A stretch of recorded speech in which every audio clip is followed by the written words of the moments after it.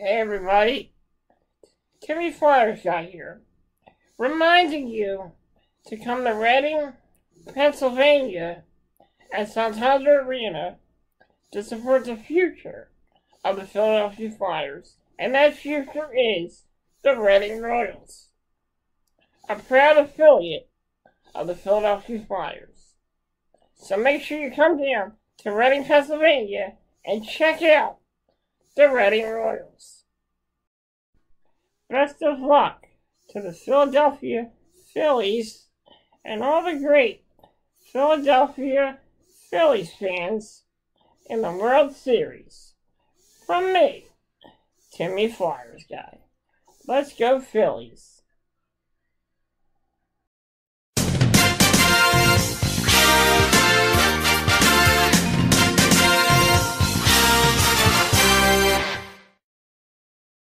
John, what do you take from the effort of the game and also just the struggles to score? Well, the effort was there. Yeah. Um, second period was a major struggle for us. I thought the first and third we uh, had some footing, um, had some chances at the end of the game. Both teams did. Carter gives us a chance, and uh, we just, you know, we didn't score. What was your message to them after that second? I don't. period? After the second period, nah, I, I just told them it's zero zero, and forget about the first two because I thought we played a pretty good first one. Second one was a major struggle as far as getting out of our end, but we didn't talk about that. We said just get ready for the third, and try to really put that as the hockey game.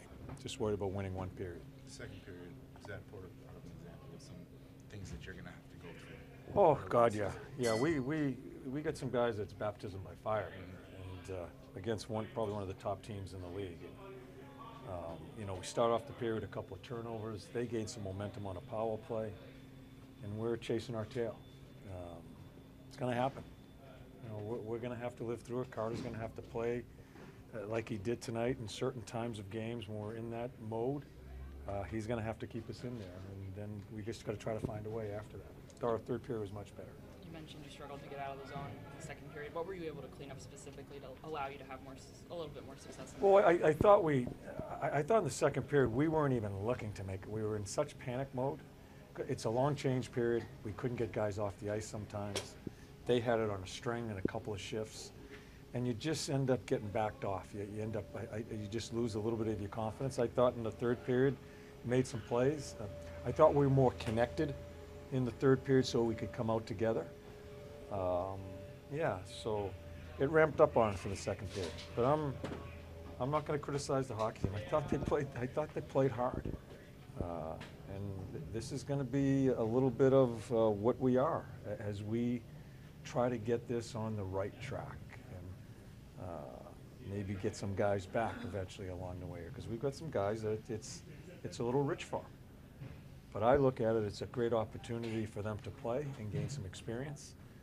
And uh, I think when we get healthy, uh, I, we, we become a better team because these guys have gone through some of those experiences. Yesterday you said they can't keep playing with bad starts from a deficit.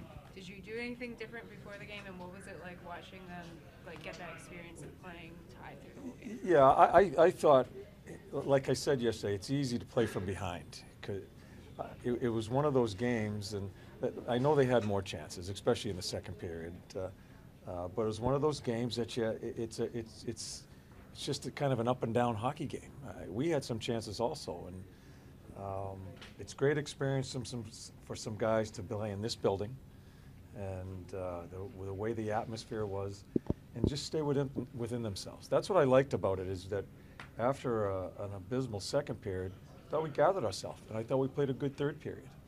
Uh, they had a few more chances in the overtime, which be expected with some of the talent that they have.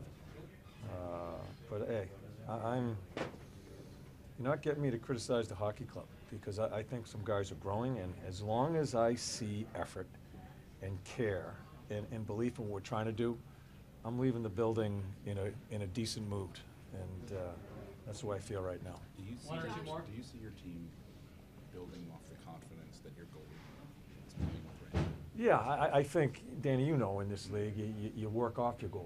Mhm. And uh, uh, it's, it's a terrific start for Carter.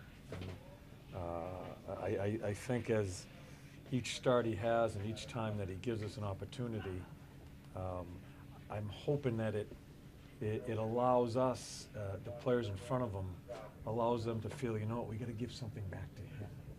And without tying themselves up in knots, uh, you know, try to do some of the things we want to do to, to have the puck more.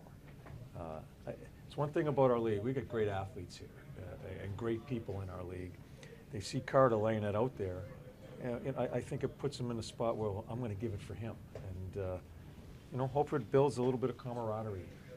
John, you, you talked before about the um, issue with playing back-to-backs and having that s- strong game for the second game. Mm-hmm.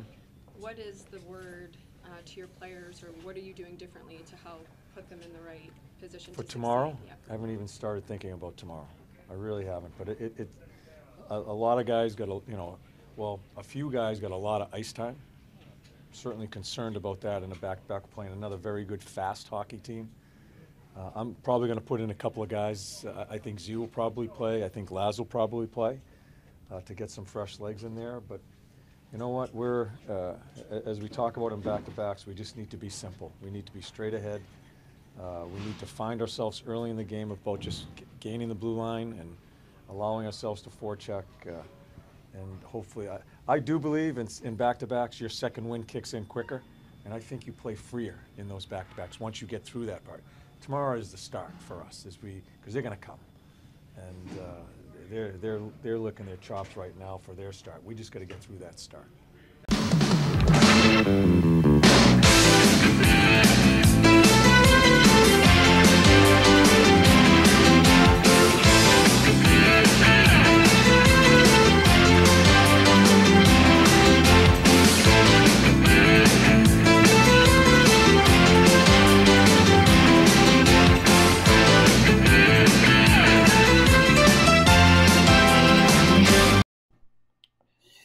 Everybody, it's me, Timmy Flyers guy, and welcome to Flyers pregame report.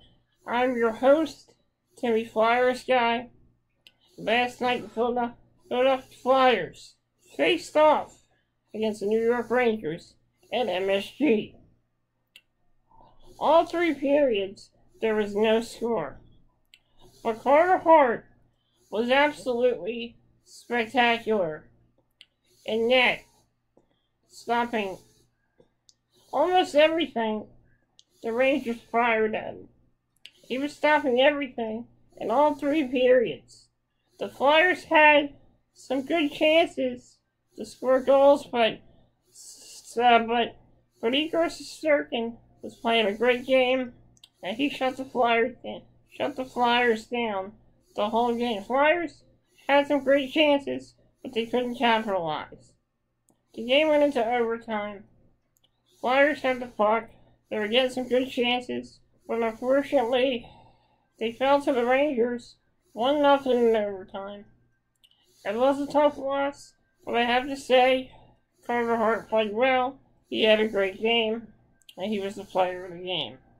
Flyers showed a lot of a lot of heart in that game, but it wasn't enough to beat the New York Rangers in overtime. Tonight, the Philadelphia Flyers. Tonight, the Flyers will be in action as they face off against the Toronto Maple Leafs at Scotiabank Arena. After this game, they will go to Ottawa on Saturday. The Flyers will be looking to get their first win in a back-to-back. They haven't really done that. Most likely, I'm not sure who'll be in goal tonight, but most likely Felix Sandstrom will get the start tonight because Carter Hart had a had a really tough game, had a really hard working game last night, and he played amazing. Tonight, Sandstrom will most likely be in goal tonight. Hopefully, Felix Sandstrom get his elusive first win as a Philadelphia Flyer. Thank you for joining me here on Flyers pregame report. John Tortorella said in his press conference, he had a press conference, he had a lot to say about the win, and he didn't look too worried. And a lot of the players didn't look too worried either.